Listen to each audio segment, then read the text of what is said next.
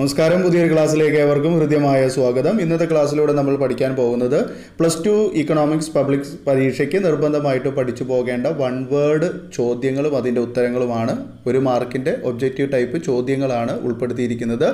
previous ആയിട്ട് question പേപ്പറിൽ ചോദിച്ചിട്ടുള്ള ചോദ്യങ്ങൾ തന്നെയാണ് ഉൾപ്പെടുത്തിയിരിക്കുന്നത് ഈ ചോദ്യങ്ങൾ ഇതേപടി ആവർത്തിക്കണമെന്നില്ല പക്ഷേ ഈ ടോപ്പിക്കുകൾ ആവർത്തിച്ച് വരുന്നതാണ് അപ്പോൾ കൃത്യമായിട്ട് നിങ്ങൾ മനസ്സിലാക്കി വെക്കുക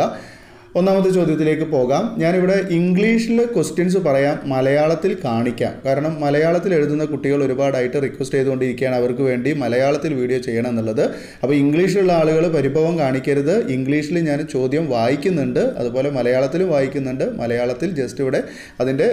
നോട്ട് കാണിക്കാം okay The famous book uh, General Theory of Employment, Interest and Money was written by ഇതാണ് ഒന്നാമത്തെ question the famous book General Theory of Employment Interest and Money was written by നമുക്കറിയാം General Theory of Employment Interest and Money എന്ന പ്രശസ്തമായ പുസ്തകം എഴുതിയത് ആര് എന്നാണ് നാല് ഓപ്ഷൻസ് ഉണ്ട് Adam Smith J M Keynes Paul A Samuelson David Ricardo ആരാണ് ജെ എം കെയ്ൻസ് ആണ് ഓക്കെ വളരെ പ്രശസ്തമായിട്ടുള്ള ചോദ്യമാണ് ഇതുമായി ബന്ധപ്പെടുത്തിയിട്ട് ഞാൻ ഒന്നുകൂടെ കണക്ട് ചെയ്ത് പറയാം ഇത് എഴുതിയ വർഷം ചോദിക്കാറുണ്ട് അതുപോലെ തന്നെ ഈ ജെ എം കെയ്ൻസ് എഴുതിയ പുസ്തകം ഏത് എന്ന് ചോദിക്കാറുണ്ട് അതുപോലെ ജെ എം കെയ്ൻസ് ആരാണെന്ന് ചോദിക്കാം ജെ എം കെയ്ൻസ് ആരാണ് ശരിക്കും കെയ്ൻസ് എന്ന് പറയുന്ന വ്യക്തി എന്ന് എന്തിൻ്റെ എന്തുമായി ബന്ധപ്പെട്ടതാണ് മോഡേൺ മാക്രോ ഇക്കണോമിക്സിൻ്റെ ഫാദറാണ് okay father of modern macro economics അല്ലെങ്കിൽ ആധുനിക സ്ഥൂല സാമ്പത്തിക ശാസ്ത്രത്തിൻ്റെ പിതാവ് എന്നറിയപ്പെടുന്നത് ജെ എം കെയ്ൻസ് ആണ് ക്ലിയറായി എന്ന് കരുതുന്നു രണ്ടാമത്തെ ചോദ്യം in a centrally planned economy all important economic activities are organised by എന്താ ചോദ്യം ഒരു കേന്ദ്രീകൃത ആസൂത്രണ സമ്പദ് വ്യവസ്ഥയിൽ എല്ലാ മുഖ്യ സാമ്പത്തിക പ്രവർത്തനങ്ങളും സംഘടിപ്പിക്കുന്നത് സെൻട്രലി പ്ലാൻഡ് എക്കോണമി എന്നാണ് ചോദ്യം ഉണ്ടാവാറുള്ളത് കേട്ടോ അത് എന്തിൻ്റെ മറ്റൊരു പേരാണ് സോഷ്യലിസ്റ്റ് എക്കോണമിയുടെ മറ്റൊരു പേരാണ് സെൻട്രലി പ്ലാൻഡ് എക്കോണമി അല്ലേ അവിടെ സാമ്പത്തിക പ്രവർത്തനങ്ങൾ നടത്തുന്നത് സംഘടിപ്പിക്കുന്നത് ആരാണെന്നാണ് നാല് ഓപ്ഷൻ ഉണ്ട് government market both government and market none of these ആരാണ് ഗവൺമെൻറ്റും കമ്പോളവും കൂടി ചേർന്നുകൊണ്ടാണ് എന്ത് ചെയ്യുന്നത്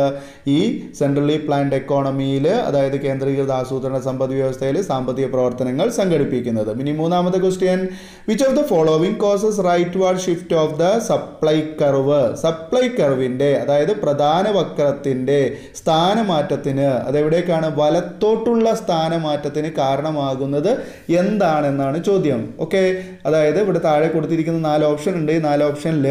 ഈ പ്രധാന വക്രം സപ്ലൈ കർവ് എന്ത് കാരണം കൊണ്ടാണ് വലത്തോട്ട് ഷിഫ്റ്റ് ചെയ്യുന്നത് അപ്പോൾ നിങ്ങളത് വരച്ചു നോക്കുക ഓക്കെ അപ്പോൾ എക്സ് ആൻഡ് വൈ ആക്സിസ് വരച്ചിട്ട് നമ്മുടെ സപ്ലൈ കർവ് നമുക്കറിയാം സപ്ലൈ കർവിൻ്റെ ഷേപ്പ് അറിയാലോ അത് എവിടുന്ന് എവിടേക്കാണ് അത് ലെഫ്റ്റ് ഡൗൺ ടു റൈറ്റ് അപ്പിലേക്ക് ഉയർന്നു പോകുന്നതാണ് അല്ലേ അപ്പോൾ അതിൻ്റെ റൈറ്റിലേക്കാണ് മാറുന്നത് വലത്തോട്ട് മാറുകയാണ് വലത്തോട്ട് മാറുമ്പോൾ അതിനുള്ള കാരണമാണ് ചോദിക്കുന്നത് എന്തൊക്കെയാണ് കാരണം പറയുന്നത് rise in input price technological progress imposition of unit tax none of these answer ഏതാണ് സാങ്കേതിക വിദ്യയിലെ പുരോഗതിയാണ് ടെക്നോളജിക്കൽ പ്രോഗ്രസ് കൊണ്ടാണ് എന്ത് ചെയ്യുന്നത് supply curve rightward shift ചെയ്യുന്നത് ഓക്കെ ഇനി നാലാമത്തെ ചോദ്യം total revenue curve under perfect competition is under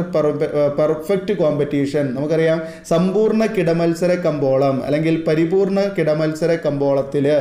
ഈ മൊത്തം വരുമാന വക്രം ടോട്ടൽ റവന്യൂ കർവ് അത് എങ്ങനെയുള്ളതായിരിക്കുമെന്നാണ് അതിൻ്റെ രൂപം എന്താണെന്നാണ് ചോദ്യം ഓപ്ഷൻസ് പറയാം downward sloping from left to right upward rising from the point of origin parallel towards X axis parallel towards Y axis ഇത് വളരെ സിമ്പിളായിട്ട് എന്ന് മനസ്സിലാക്കാവുന്നതാണ് ടോട്ടൽ റവന്യൂ എന്ന് പറഞ്ഞാൽ എന്താ മൊത്തം വരുമാനമാണ് ഒരു പെർഫെക്റ്റ് കോമ്പറ്റീഷൻ മാർക്കറ്റിൽ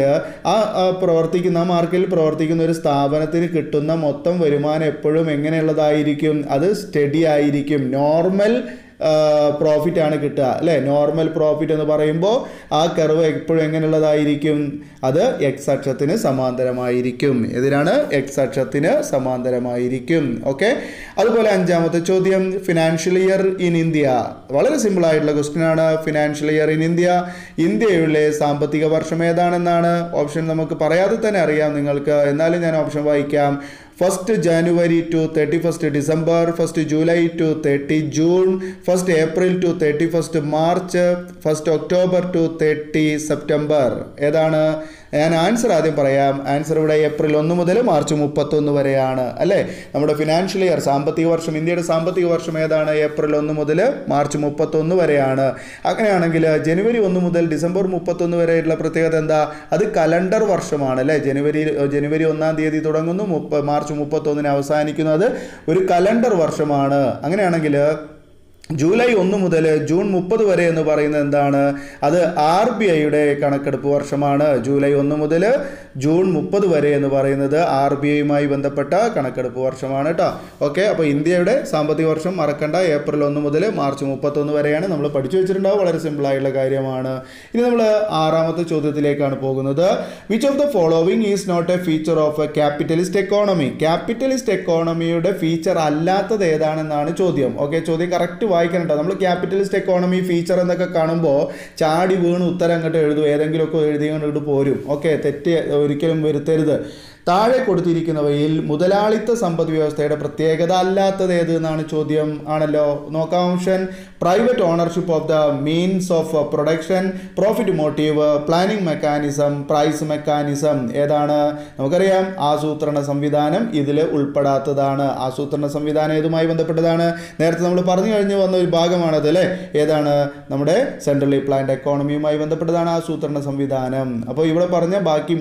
നാല് മൂന്ന് കാര്യങ്ങളും എന്താണ് നമ്മുടെ ഈ ക്യാപിറ്റലിസ്റ്റ് എക്കോണമിയുടെ ഫീച്ചറിൽ ഉൾപ്പെടുന്നതാണ് ഇനി ഏഴാമത്തെ ക്വസ്റ്റ്യൻ നോക്കാം which of the following represent budget line equation okay താഴെ ഇവിടെ കൊടുത്തിരിക്കുന്നതിൽ ബജറ്റ് ലൈൻ അല്ലെങ്കിൽ ബജറ്റ് രേഖ സമവാക്യത്തെ പ്രതിനിധീകരിക്കുന്നത് ഏതാണെന്നാണ് ബജറ്റ് രേഖ സമവാക്യം ഏതാണെന്നാണ് നേരിട്ട് ചോദിക്കാം ഓക്കെ ഇവിടെ വളച്ച് തിരിച്ചിട്ടൊക്കെയാണ് ചോദ്യം വരുന്നത് അപ്പോൾ നമുക്ക് വായിച്ചെടുക്കുമ്പോഴേക്കും സമയമൊക്കെ ഒരുപാട് പോകും എന്നാൽ പെട്ടെന്ന് മനസ്സിലാക്കിയെടുക്കാം പഠിക്കുക അപ്പോൾ നാല് ഓപ്ഷൻസ് കൊടുത്തിട്ടുണ്ട് ഓപ്ഷൻ കൃത്യമായിട്ട് നോക്കുക എല്ലാ ഓപ്ഷൻസ് ഒരേപോലെ തോന്നും നൺ ഓഫ് ദീസ് എന്ന് പറയുന്ന ആ ഡി ഓപ്ഷൻ അല്ലാത്ത ബാക്കി മൂന്ന് ഓപ്ഷനും ഒരുപോലെയാണ് നമുക്ക് തോന്നുക അപ്പോൾ അത് പ്രത്യേകം എടുത്ത് ഓരോന്ന് ഓരോന്ന് എടുത്ത് കീറി മുറിച്ച് നോക്കണം എങ്കിലേ നമുക്ക് ആ ഇക്വേഷൻ ക്ലിയർ ആയിട്ട് മനസ്സിലാക്കാൻ പറ്റുള്ളൂ ഇക്വേഷൻ നോക്കൂ P one X one plus P two X two equal M എന്ന് കൊടുത്തിട്ടുണ്ട് P one X one plus P two X two less than M എന്ന് കൊടുത്തിട്ടുണ്ട് P one X one plus P two X two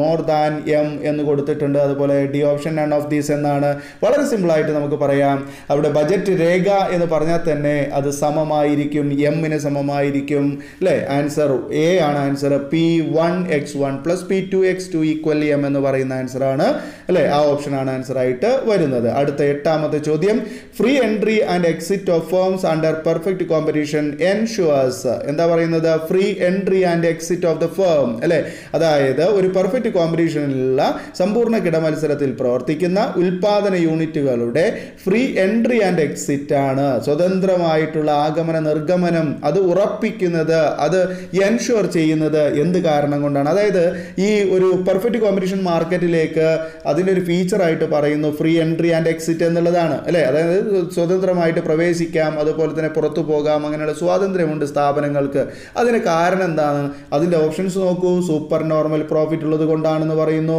loss കൊണ്ടാണെന്ന് പറയുന്നു normal profit കൊണ്ടാണെന്ന് പറയുന്നു none of these എന്നാണ് പറയുന്നത് മറ്റൊരു ഓപ്ഷൻ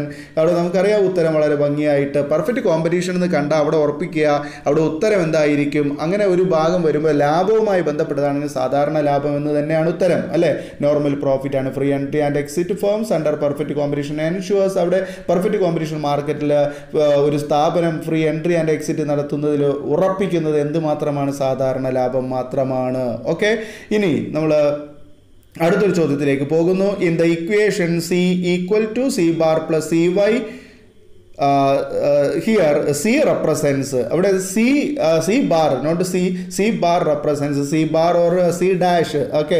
equation കൊടുത്തിരിക്കുന്നു അതായത് കൺസംഷനുമായി ബന്ധപ്പെട്ട ഇക്വേഷനാണ് C equal to C bar plus C Y C bar അല്ലെങ്കിൽ സി ഡാഷ് എന്ന് വായിക്കാം അതിൽ സി ഡാഷ് അല്ലെങ്കിൽ സി ബാർ എന്തിനെ കാണിക്കുന്നതാണ് വളരെ സിമ്പിളായിട്ടുള്ളതാണ് സി ഡാഷ് എന്ന് പറഞ്ഞാൽ സ്വമേധയാലുള്ള അല്ലെങ്കിൽ ഓട്ടോണമസ് കൺസംഷനെ കാണിക്കുന്നതാണ് സി ഡാഷ് സി എന്ന് പറയുന്നത് കൺസംഷനാണ് അപ്പോൾ അവിടെ തന്നെ ഉറപ്പിക്കുക autonomous autonomous consumption marginal propensity to consume marginal propensity to save consumption function okay ഉത്തരം ഏതാണ് ഉത്തരം ഓട്ടോണമസ് കൺസംഷൻ ആണ് അതിന് മലയാളം സ്വയം പ്രചോദിത ഉപയോ ഉപഭോഗം എന്നാണ് കേട്ടോ സ്വയം പ്രചോദിത ഉപഭോഗം എന്നാണ് കൊടുത്തിരിക്കുന്നത് ഓക്കെ അത് കൃത്യമായിട്ട് മനസ്സിലാക്കുക ഓക്കെ അതൊക്കെ ചോദിക്കുന്ന ചോദ്യങ്ങളാണ് കേട്ടോ അതുപോലെ പതിനൊന്നാമത്തെ ചോദ്യത്തിലേക്ക് പോകുന്നു which of the following does not include in revenue receipt താഴെ താഴെ കൊടുത്തിരിക്കുന്നതിൽ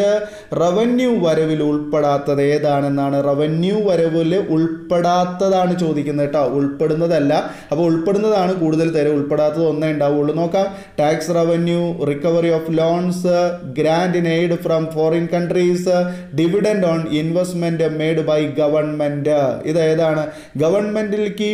വരുന്ന റവന്യൂ വരവിൽ ഉൾപ്പെടാത്തത് ഏതാണെന്നാണ് ചോദ്യം വന്നിരിക്കുന്നത് നികുതി വരുമാനം എന്തായാലും റവന്യൂ വരുവാണ് വായ്പകൾ തിരിച്ചു പിടിക്കും പിടിക്കൽ വായ്പകൾ തിരിച്ചു പിടിക്കുക വായ്പ കൊടുത്തത് തിരിച്ചു പിടിക്കുക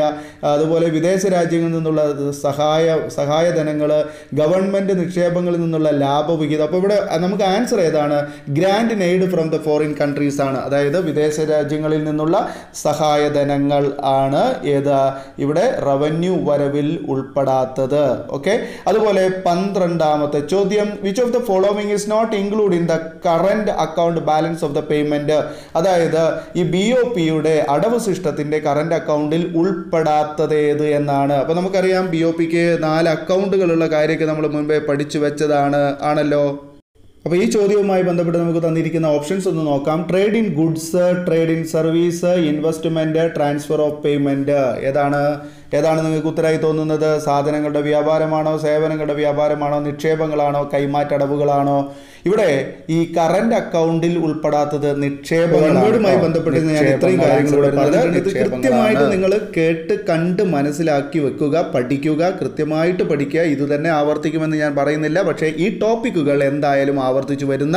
വൺ വേർഡിന് വരുന്ന ടോപ്പിക്കുകളാണ് ഇനി ഇതിൻ്റെ തുടർന്നുള്ള ഭാഗങ്ങൾ അടുത്ത വീഡിയോയിൽ ചെയ്യുന്നതാണ് ക്ലാസ് തുടർന്നുണ്ടാകും അതിനുവേണ്ടി നിങ്ങൾ കാത്തിരിക്കുക ഈ വീഡിയോ കാണുന്ന എല്ലാവരും ഇതിനെല്ലാവരും ലൈക്ക് ചെയ്യണം കേട്ടോ ഇവിടെ പലരും ലൈക്ക് ചെയ്യുന്നില്ല ഇങ്ങനെയാണെങ്കിൽ ഞാൻ ക്ലാസ് നിർത്തും ഞാൻ ആർക്കും വേണ്ടിയും ക്ലാസ് ഇനി അപ്ലോഡ് ചെയ്യുന്നതല്ല നിങ്ങൾ നമുക്ക് ഇങ്ങോട്ട് തിരിച്ചൊരു സപ്പോർട്ട് ആരും തരുന്നില്ല അതുകൊണ്ടാണ് വളരെ വിഷമമുണ്ട് അതുകൊണ്ടാണ് ഞാനിത് ഇങ്ങനെ പറയുന്നത് അപ്പോൾ എല്ലാവരും ഇതിന് ലൈക്ക് തരും എന്നാണ് ഞാൻ വിശ്വസിക്കുന്നത് വീഡിയോ കാണുന്ന എല്ലാ മക്കളും ലൈക്ക് ചെയ്യാൻ മറക്കരുത് അതുപോലെ ഷെയർ ചെയ്യുക അപ്പോൾ ഇന്നത്തെ ക്ലാസ് ഇവിടെ വൈൻഡപ്പ് ചെയ്യുകയാണ് ഇനി നമുക്ക് വീണ്ടും പുതിയ ഒരു ടോപ്പിക്കുമായി പുതിയ വീഡിയോയിൽ കാണാം പുതിയ ടോപ്പിക് എന്ന് പറയുന്നത് വൺ വേർഡ് ക്വസ്റ്റ്യൻ തന്നെയാണ് ഓക്കെ അപ്പോൾ അതിനുവേണ്ടി കാത്തിരിക്കുക എല്ലാവർക്കും നന്ദി നമസ്കാരം താങ്ക്സ് ഫോർ വാച്ചിങ്